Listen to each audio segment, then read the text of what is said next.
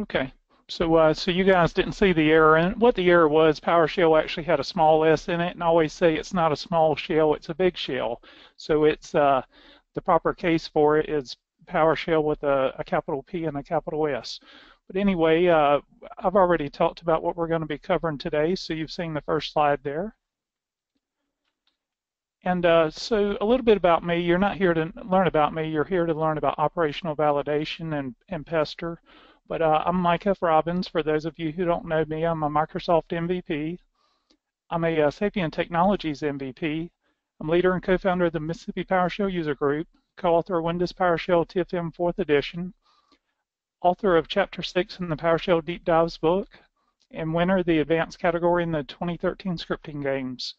And as I said, you, did, you didn't come here to learn about me, but if you're interested, I blog at mikefrobbins.com and you can learn more about me there. I've got over 400 blog articles on PowerShell, been blogging since 2009, and I typically publish a blog article every week about the most interesting thing that I've, I've actually used at work in a production environment for that week. Okay, so Pester. You may or may not have heard of Pester in the past, but Pester is a unit testing framework for PowerShell. And it's actually open source. It it ships, it's the first open source piece of software that ships with Windows 10, or at least that's my understanding. And we're going to be using what's called assertions, and there's a should assertion that we're going to be using throughout the code. And we're going to cover all of this in much more detail when I get to the code examples. But Pester also allows for mocking. I'm not going to cover mocking today, but it's a, it really is a, a fully featured test framework. So you can also do isolated file operations with Pester. And there's a test drive drive that you can actually uh, manipulate files, and then the drive just goes away. So you could copy files to that test drive, and then you can make modifications to them. And it's for, you can actually run a command and simulate the testing without, say, deleting the uh, production files off your hard drive so you can make sure the command's going to do what you think it's going to do before you actually run it in a, a, even a test environment. So you can also test modules, and that doesn't sound real advanced, but it actually is much more advanced than uh, than it sounds. You can, of course, test public functions, but within the scope of a module, you can also test private functions that are not externally exposed, which is a really neat feature. So for more information about Pester, you can go out to their wiki on GitHub. And I've got a slide coming up. All this, all the content in my session today has already been published to my uh, presentations repository on GitHub. So test-driven development, that's actually what, what I use Pester for. And today, that, that's not the focus today, but you really need to understand that model because you need to understand PowerShell and you also need to understand Pester. And in addition to that, you need to understand the test-driven development model. Okay, and this is a uh, this is actually an image here that I, I designed, and it's it's in a blog article that I had written. So what you do is you actually start and you add a unit test, a failing unit test that's real simple, and you write just enough code for your function or script or whatever you're doing or your your operational validation test until the uh, the until the unit test fails, and then you just keep repeating until you're done. I mean, it's really simple. So operational validation testing, which is what the session here today is about. So you need to understand, like I said before, PowerShell, Pester, and depend, depending on what languages you're going to use with your uh, your testing, you may also want to know Transact SQL, but for this audience, I don't think that'll be an issue. And maybe you want to get some machine-specific things that you can only get from WMI and of course, you can use the CIM, the newer CIM commandlets for doing that. But you, uh, of course, WMI is a separate separate language from PowerShell and Transact SQL and all these others.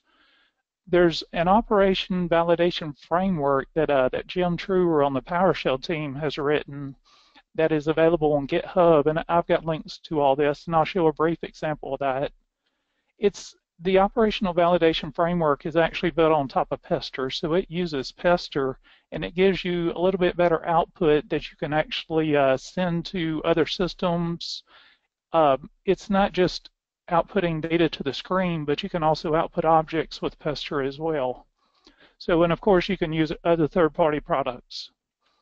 So let's go ahead and get started with the demo, and there's the, uh, the URL for my GitHub repository. I think I'll, the majority of the presentations I've done this year, I, I, think I started back in March. I started putting all my presentation content on GitHub.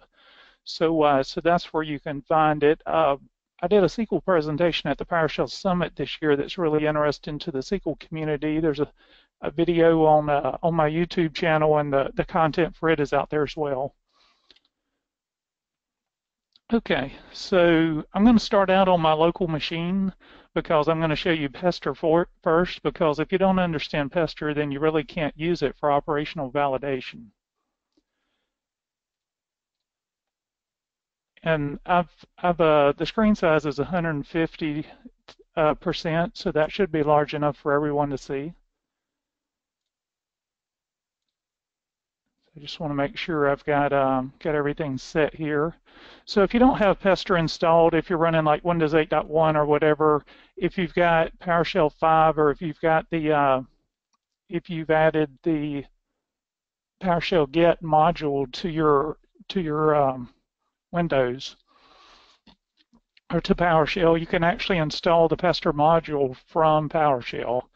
Now I've added the force parameter here because even if you have Pester on Windows 10, there's numerous there's numerous updates to Pester, and the force parameter will actually allow you to update that that module to the latest version.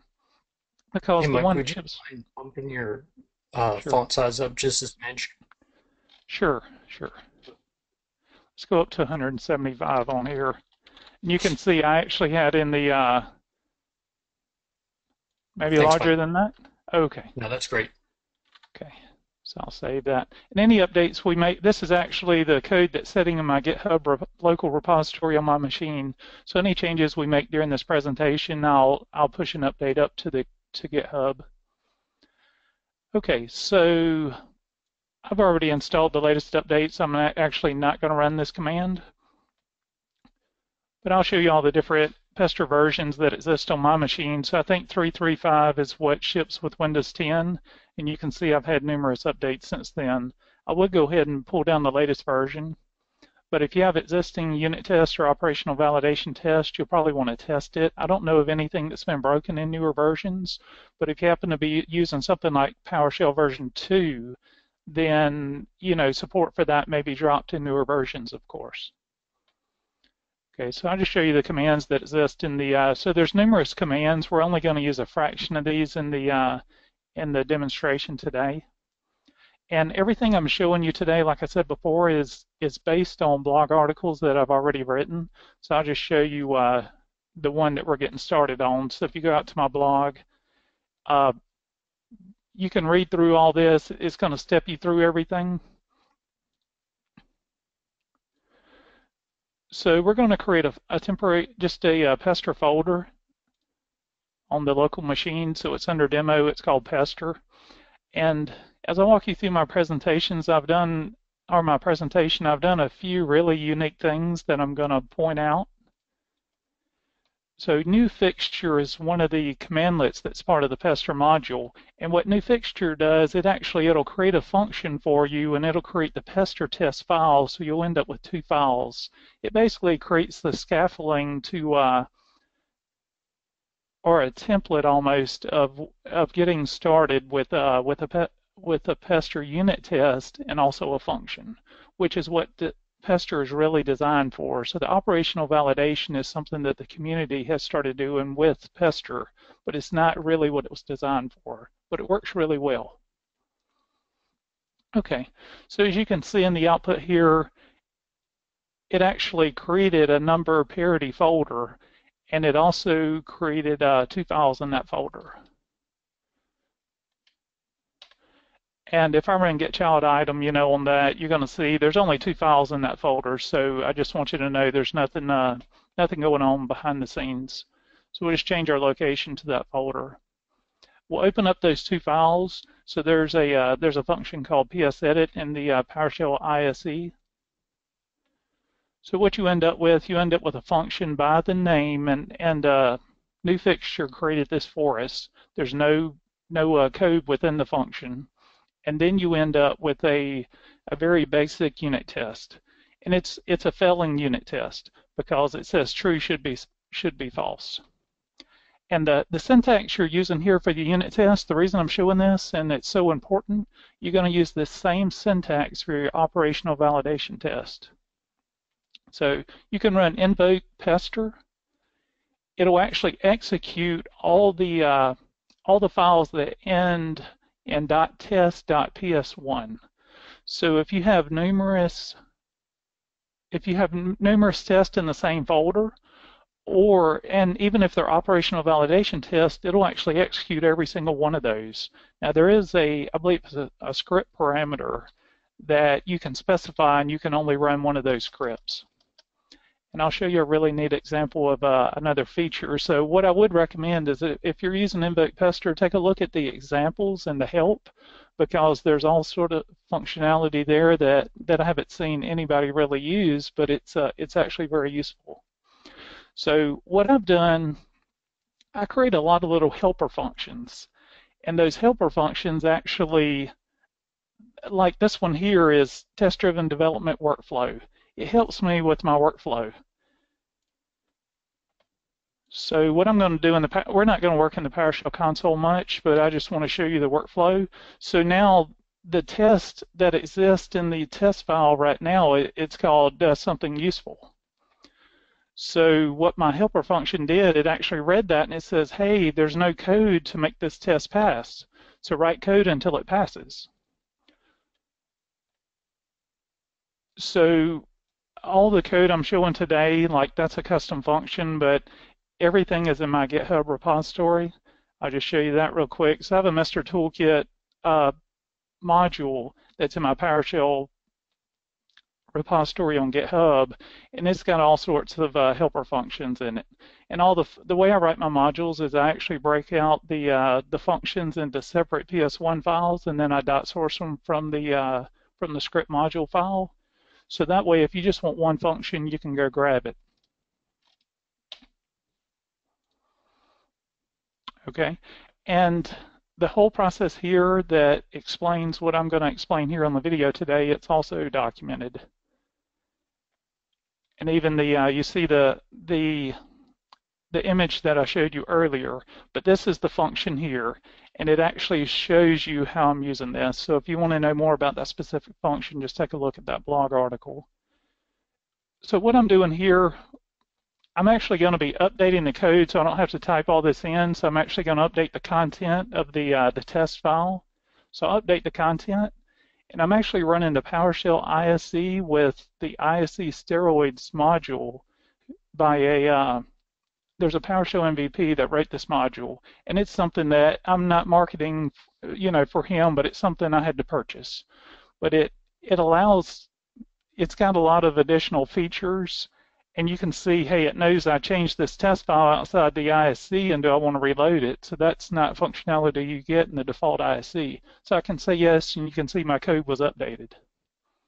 So now it's basically uh, running the get number parity function, and it's saying that one should be odd. Like I said, I want to keep this real simple because when we get to the SQL part, which is going to be here in just a couple minutes. I'm going to zip through this. I want to make sure I get all my SQL content covered. But if you don't understand this part, then it, it's very difficult to understand the operational validation portion of it. So if I run invoke pester, you'll see that my test should fail.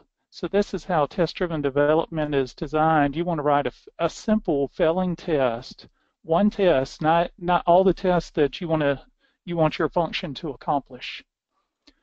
So if I took a look at my my uh, workflow here, it's saying, hey, now I need to write code into this this uh, test passes for the one sh should be odd.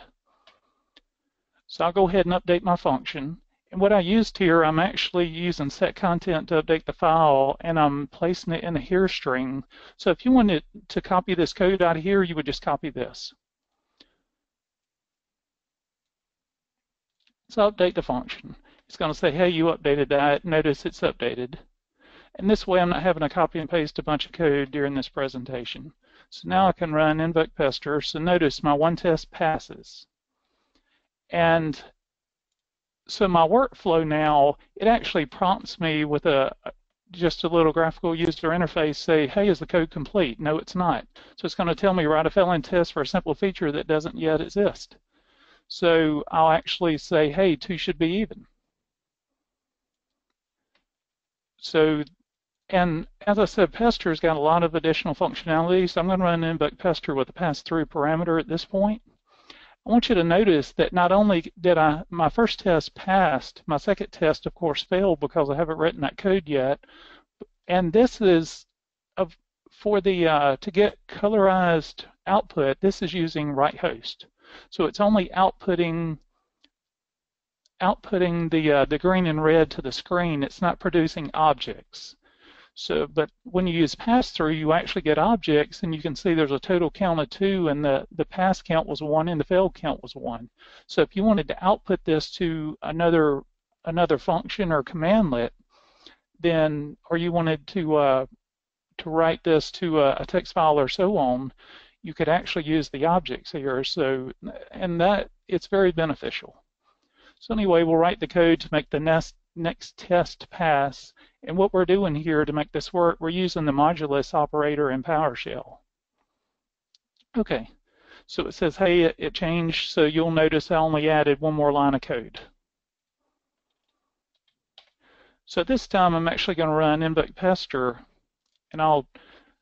So I've written that that failing unit test, and I actually wrote the code so it's going to say, hey, is the code complete? No, it's not. So it wants me to write another one. But I'm going to run invoke pester. So this time what I did, I specified the quiet parameter in addition to pass through. So that doesn't it doesn't write to the screen. It only gives the gives you the output. So we can see we have two tests and two of them passed. Okay, so negative numbers. So let's run this again. And this could very easily be anything with SQL. You could write a simple function. So, uh, so just humor me for that part of it. That this may not be specific to SQL, but the code is uh, the logic for this is going to be the same regardless. So I'm going to just run invoke pester again, and I'll I'll press enter. So hey, it's it knows that should determine dash one is odd, and the way I'm getting this is that the object-oriented output from Pester is it's actually parsing that and say, hey, this test is failing.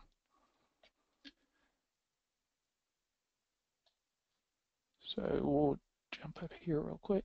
And what I've noticed too, it does the uh, even though I've got ISE steroids, it doesn't always update these files because at some point it, they'll be locked and it'll say, hey, you can't you can't update those files. But let's run invoke pester one more time. So so it should determine one is odd, and with the modulus operator, it, it actually doesn't work properly. So we'll go through, so we'll have to refactor our code. So we'll refactor our code. So now we have different code. So this time I'm actually going to pipe the previous invoke pester instead of running it. No, the code's not complete. And I have multiple monitors, so typically I would actually run this on a separate screen.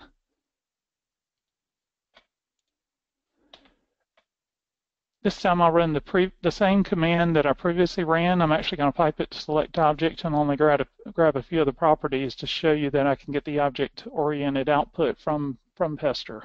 So you'll notice now we got total count of three, we got pass count of three, and we've actually got a uh, no fail count, no skip count. So by simply dividing by 2, I can determine if a number is odd or even. Okay, so maybe I want multiple numbers to be inputted to that. So you'll notice what I'm doing every time is I'm only adding one test. So I'll write this again, or I'll actually update the, uh, the test again. and I'll run, I'll just run invoke pester so you can see the typical output. So now it's uh, it's actually not, it's not designed for multiple integers. It's it's wanting a single number. So that's why it's failing. So I can specify, hey, more than one integer, I can put it in a for each loop and, and accomplish that task. So we'll go ahead and reload that. We'll run invoke pester again. Notice all the tests pass.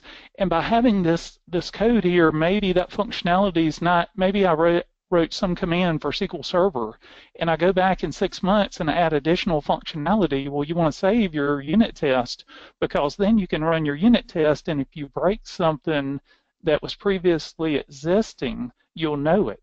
Because usually you get code that people have written, and even somebody sets up a SQL server, and this is where the operational validation testing comes in, that nobody wants to touch it. Everybody's afraid to make modifications either to the server or to the code or whatever it is that you're working on because it works and nobody wants to break it. By, but by having either unit tests for your code or operational validation tests for your servers, you can simply run this and you'll know immediately what I would recommend is run it before you make a change to make sure nothing's been changed that you're not aware of, and then run it after your change, and you'll immediately know that hey, all my previous tests are working. And it's really great because if if you walk into an environment where where you're not familiar with the uh, you didn't build the servers, so you want to check and make sure that you've got so many uh, TempDB data files. If you've got a certain number of cores, you can check all that really quick and what I use this for is really for smoke test. I want it to check it really quick because a lot of times you're sure you have monitoring set up, but your monitoring may not be that granular, but also your monitoring, you may get a hundred, say, emails because everything in your data center went down. Well, then how do you know that every single thing came back up? And you can run this and you'll know really quick if everything's up without having to go open your monitoring system and all. So what I want to do, I'm just going to add one. I want to show you a problem with doing these uh, these actual tests. What I'll do, since the code is making it this large, I can actually highlight this and it'll run everything in that collapse region there. I can actually expand it now and it'll be highlighted. So I'll run my invoke pester again and notice it's I, I'm actually trying to test pipeline input and it's prompting me because it's a mandatory parameter instead of failing because I haven't written that code yet. So I'm actually going to stop the execution. What you have to do is it needs to run non-interactive. So I can call PowerShell.exe and I'm going to specify no profile because I don't want my profile to load and then I can specify the command to run. So let's clear this screen so we only get this output. So when I run that, what I want you to notice is I really should have gotten the green and red output for what failed and what didn't. But what happens is since write host actually only writes to the screen, it wrote to the screen in a different session. And that's why I didn't get the output, but notice I did get the object-oriented output. You'll notice the very last one, there's a negative by it, so I know that that one failed. And in the uh, past, at the bottom here, you'll notice that uh, it actually, this goes with failed, so one failed. Okay, so we're good on time at this point. So I'll write the code for the pipeline input. So what I've done now, I've just added pipeline input in my process block. So I'll run my pester test again, and notice what I did, I actually got, I grabbed this uh, old code where I was using the modulus operator. So imagine you implemented a new feature six months down the road and hey, one of your tests that should be passing is no longer passing. So what you'll have to do is figure out, okay, what did I write that broke this part of the code? And then you can go back and refactor your code. Now I'm going to show you a really, really neat feature I haven't seen a lot of people use online or in any videos or anything. I'm going to break this up into multiple describe blocks, and this can help with your uh, operational validation test as well. So it's the same test. What I'm saying is, hey, test it with positive numbers, negative numbers, with multiple numbers. and maybe uh, maybe have some operational validation tests that you're writing, and maybe some of them take a really long time. Well, the way that this is designed, it's designed to run all the tests in that test file. So it's going to run every one, even if the first one fails. It's not really, you can write some logic to nest things or do conditional tests, but that's not really how it's designed. So if you've got something that's going to take a really long time, you may want to put it in a separate describe block. So now if I just run invoke pester, it's just going to run the same test. The output is slightly different. I've got a little more pink there that's uh, being outputted one, one line for each describe block. What I want you to notice is maybe I only want to run one test. So I can specify the name of the, the describe block that I want to run. So I want to run this one that's failing. I don't want to run all these other tests. So I can actually specify the test name, and that's the only thing that'll run. It'll run one test, and that's it. So if I'm troubleshooting that, and it takes it takes five minutes to run all these tests. I can just troubleshoot the code and then run that one test, and then that's it. And what I want to show you, maybe your uh, your boss is like, hey, how's that code going? And you can say, hey, it's going great. You can run the test. I can run the other two tests, the ones that aren't failing. I can run it while he's standing over my shoulder and say, yeah, see, it's all green. It's going great. I just don't run the one that's failing and show it to him until I get it fixed. So let's see. So now we've figured out that hey, we got a hold of some old code because you really should store your code in source control and maybe for some reason it wasn't updated in source control or whatever. But you figured out that you had some old code and now you're not going to use the modulus operator for this function. So we'll say yes. And of course I could close those and it would quit telling me that they've been updated. So notice everything runs fine. Okay. So as I said earlier, you want to write the minimum amount of code to make your test pass. So maybe this is not the most efficient way to uh, to write this function, and I've I've got the the code written, but I want to refactor it. So I've got all these tests. I know they work. I'm going to refactor my code to accomplish the same task, but it's a little bit better way of accomplishing the same task.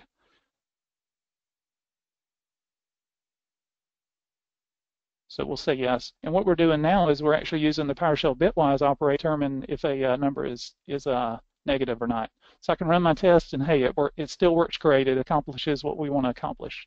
And that's the end of the pester set portion of this, and we're going to jump into the operational validation framework. But you can you can take a look at the wiki on the pester uh, repository on, on GitHub, and it'll actually tell you how to use all these commands Okay, so we'll go ahead and collapse this region. Okay, so I'm going to be showing you the operational validation framework that I was telling you about earlier.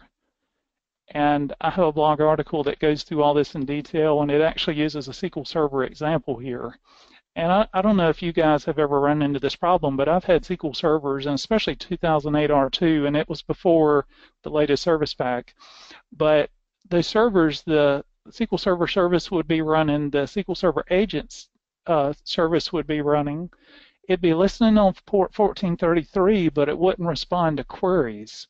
So I do a really, what I call a really stupid query, is I actually query sys.databases to make sure that there's a database named master. Well, of course, that table exists in master, so uh, it should always return that. You know, it should just say, hey, yeah, but it's something that's really simple and easy and lightweight to say, hey, is my SQL Server listening to queries? And so at this point, we're going to jump to a virtual machine so that I've got access to a couple of SQL servers. And this is the same code that I've been showing you already. So this is going to be more free free formed. We're not create we're not using new fixture because we don't want a function. We just want to test. So what I'm going to do, I'm actually going to uh, write my test. And this is a scenario. What I would still recommend is write one test at a time because you want to make sure that your tests are going to fail and then make sure that they actually work because uh, there's nothing worse than getting a false positive that a test is successful. Okay, so we'll open up the file that we just created for the test. So it's very simple. Uh, we're actually creating a new session. I, uh, I had a little problem with my demo earlier today, and I figured out that my SQL 01 server had wrote a, uh, a DSC resource, and I had actually renamed my uh, SQL server with that DSC resource. But anyway, I finally got that figured out. So we can still run invoke pester, and you'll notice that the SQL Server service is running, the agent's running, it's listening on 1433, it's able to, to query information on the SQL Server and so on. And so the session is not to uh, not to base, not to give you a fish, but teach you how to fish, so that you can you can do this for yourself. So if you have a list of things that you check for your environment that your corporation says this is how we configure our SQL servers, then you can write this sort of test, and you can actually run this in your environment. And I've seen other people do similar things, but not with Pester. They would have checks that they would go out and check things on different SQL servers. Okay, so now let's just stop the SQL Server agent on that on that server. And we'll run the pester test again. And this is kind of what I mean by make sure that every single test is going to fail so we can see now the test for the SQL agent service is failing. And you'll also notice how quickly that this returned, and these are virtual machines running on my laptop. So, uh, so you do want your test to be really quick, like I said before, a, a, smoke test. So if I start the SQL Server agent service on this server, you can actually uh, run it again and see now it's successful. So it is, it is actually running the, these tests. So this operational validation framework that I, I showed you, it's uh, it's written by one of the PowerShell team members, but it's it's uh, open source. It's on GitHub. You can even contribute to it if you find a problem. So I'm actually going to run this. And you'll notice you actually get different output. Now you can, I included the pester output, so you can get the pester output as well. But it'll it'll tell you all the details. It'll it'll tell you that you know the, the the SQL Server service should be running, and these are all objects. So it gives you a little bit richer output than you get with the uh, with Pester. Okay, so one of the benefits of using a pester test like this, and I, I, mentioned this briefly, so I can write multiple test files and I can run all those files by simply saying invoke pester. So I can test my SQL server, I can test my application servers, and so on. And that way I'm getting a full test of my environment because maybe you have a, like you have a test environment, you have a training environment, you have a production environment. And I, I have some bonus content in this as well, and and uh, I don't plan to get to that in this session, but it's linked to a blog article that's very detailed that actually shows that. And in addition to showing that, you can actually kind of, if you're familiar with desired state configuration, where you're breaking out the structural configuration and the environmental config, you can uh, you can do the same sort of thing with this. So the specifics like the SQL Server name, maybe you've got different port numbers that are in use for different environments, especially on the application side. You can break all that out into uh, into hash tables and then in addition to that, it's very easy to store those hash tables in a SQL Server database. Now, you probably don't want to store it in a database on the server that you want to test because, of course, if that server is down, then it's kind of a catch-22. But I've got some blog articles on that. And I, I, showed using some of the older functions that were available prior to the, the new SQL Server module coming out, but it's much easier with the, the SQL Server uh, 2016 module that, that came out as part of SQL Server Management Studio. Okay, so one thing you can do is you can actually write your test as a function. So you can put it in a module and you can just call it any, from anywhere. So I'm going to do that. So I'm going to create a function. We'll open up that function just so you can take a look at it. And of course, the one thing that I didn't do to this function is that I didn't write comment-based help, which I should have written, but I mainly wanted you to see the code. So I can actually loop through and test multiple SQL servers. And there's a, actually a new feature in, in newer versions of Pester where you can do this without looping through like for each or for each object. But I want to show you this way. So we're going to dot source that function. And then also, uh, so now we're going to test uh, the SQL 011 and SQL 02 servers.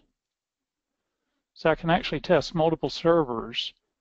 And the way that this one is written, now this first server actually has the uh, the SQL PS module, and it's so it's actually loading that module on the server itself, and you notice it took a lot longer.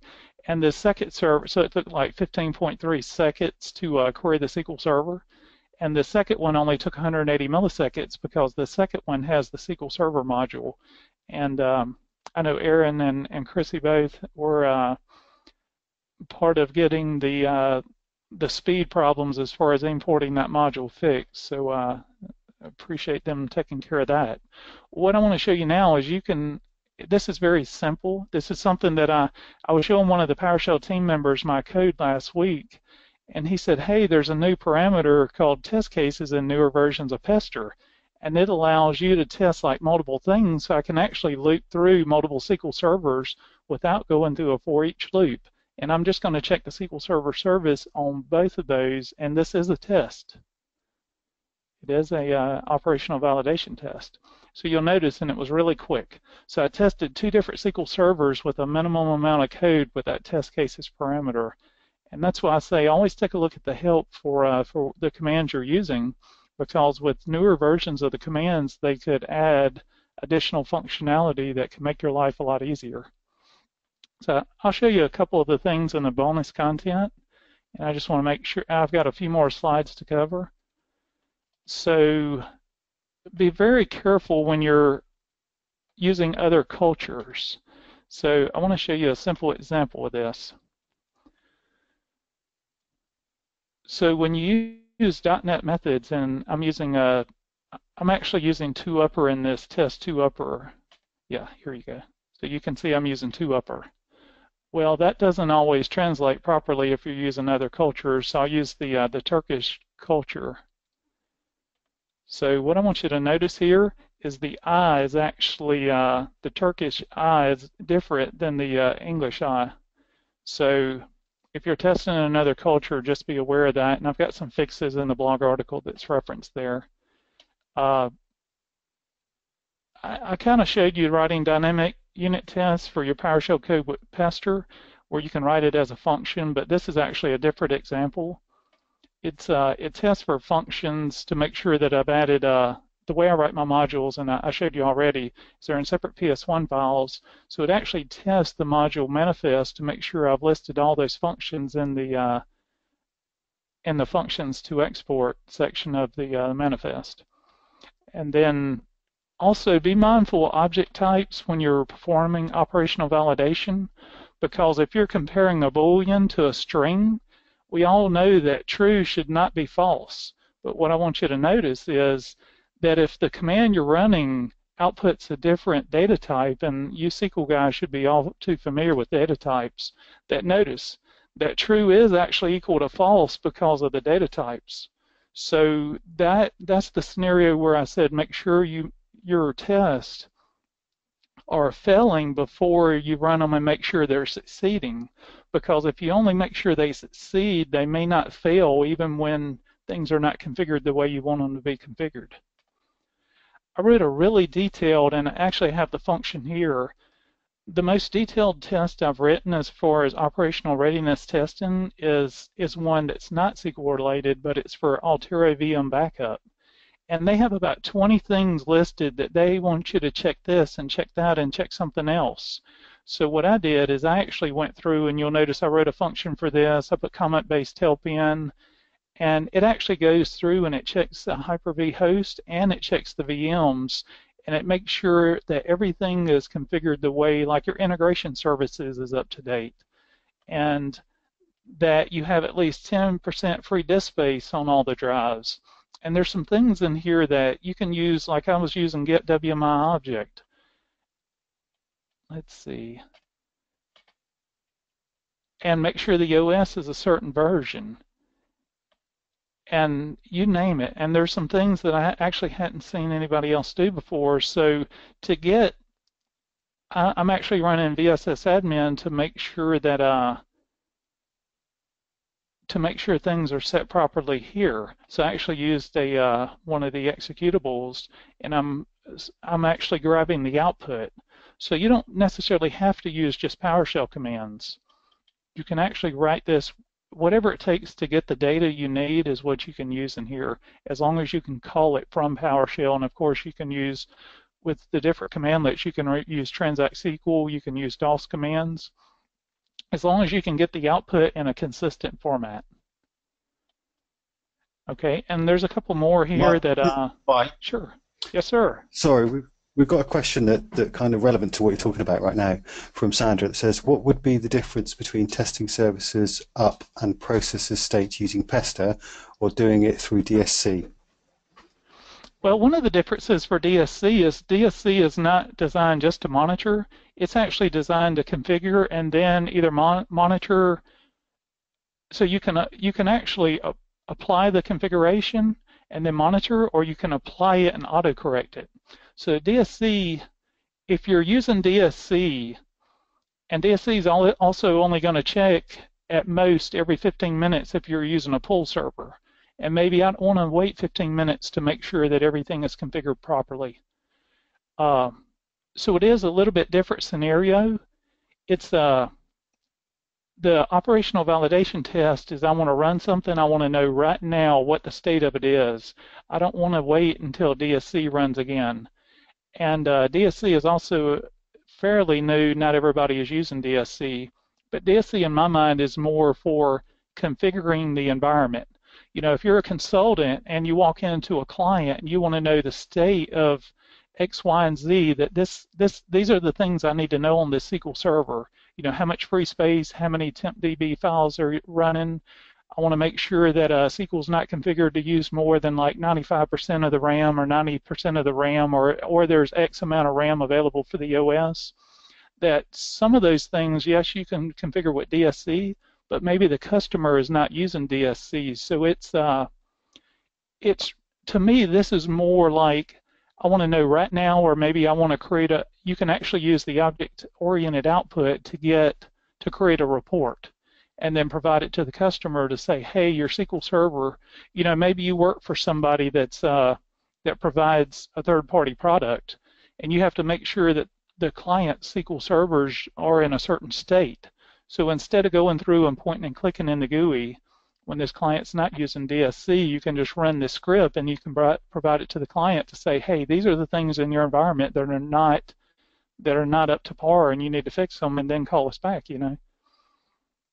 So, so DSC is really for a different scenario than uh, than operational validation test. And uh, if there's any more questions on that, I'll be happy to answer them. We're uh, nearing the end of this, uh, so I definitely want to make sure we get any questions answered. So this is the article I was telling you about earlier where you can actually separate the environmental code from the structural code. And then also the other one that you can store and retrieve uh, PowerShell hash tables, which this actually is using uh, is using the pre. It's kind of a follow-up because I wrote an article to do this, and then like the very next week, the SQL Server uh, 2016 module came out, and it was so much easier to do it with the built-in commandlets. So what I'm going to do at this point is we'll jump back to the uh, to the slide deck. Okay, so a few resources. I already mentioned the Pester Wiki on GitHub, the Operational Validation Framework. All these are links if you grab the slide deck. So this points to the GitHub repository. I've actually linked, this doesn't point to PowerShell.org, it points to YouTube and it points to the, uh, the videos they have on Pester. PowerShell Magazine, there's I, am I've actually linked to the uh, Pester tag on PowerShell Magazine. There's some great articles out there. Also, some people that actually have have worked on the code itself in Pester. I noticed there's some on the Hey Scripting Guy blog also.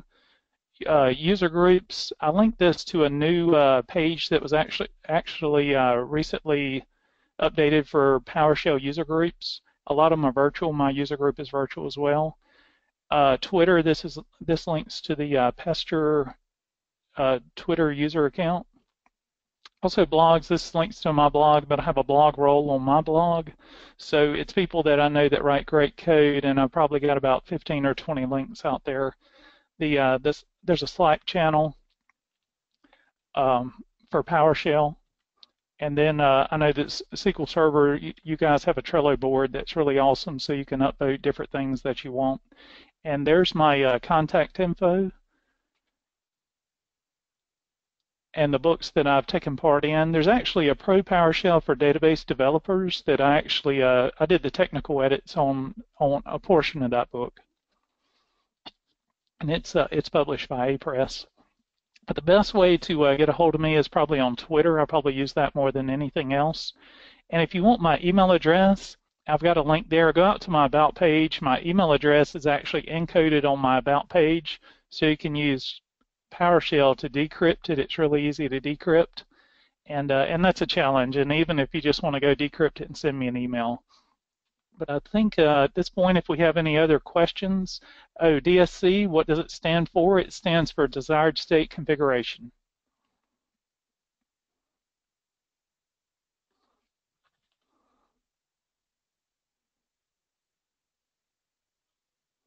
Okay, and I want to thank you guys for uh, for attending my session today. And this session is, uh, like we said before, it is being recorded. So I'll get that recording to Aaron and uh, and we'll get it posted. And at this point, if there's no further questions, I'll go ahead and turn it back over to Aaron. Yeah, thanks, Mike. Uh, we really appreciate you doing this for us. Uh, Pester is